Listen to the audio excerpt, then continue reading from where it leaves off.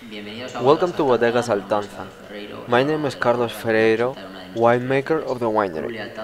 I will introduce one of our creations, Club Lealtanza. 2005 is qualified by the regulatory board as outstanding. It's a wine that received 95 Parker points and 92 International Wine Review points. As for the color, we see that it's a very clean, high-layer garnet wine. If we go to the aroma, we have a balance of red fruits with toasted oak, spices and balsamic herbs.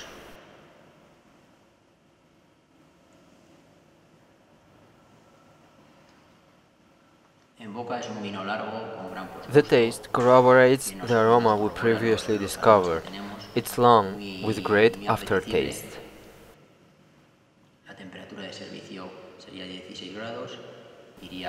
The serving temperature is 16 degrees. This wine would go great with meats. I hope you like it. Enjoy.